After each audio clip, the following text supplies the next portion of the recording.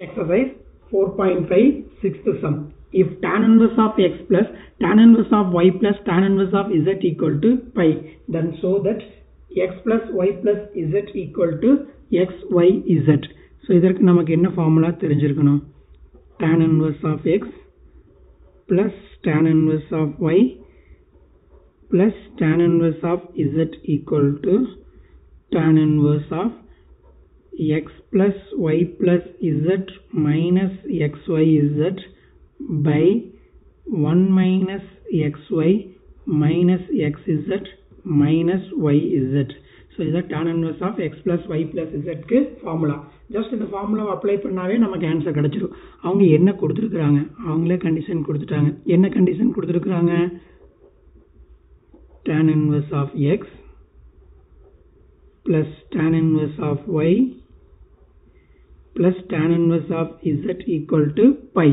So நம்ம tan inverse of x plus y plus z க்கு இந்த formula tan inverse of x plus tan inverse of y plus tan inverse of z க்கு இந்த formula apply பண்ணுவோம் அப்போ என்ன கிடைக்கும் tan inverse of x plus y plus z minus xyz by 1 minus xy minus xz minus yz equal to pi. So, x plus y plus z minus xyz by 1 minus xy minus xz minus yz equal to tan pi tan inverse equal to நுங்கிறத tan pi எழுதிக்கலாம் so x plus y plus z minus x y is that by 1 minus xy minus xz minus yz equal to tan 180 degree tan n pi equal to 0 so tan pi equal to 0 therefore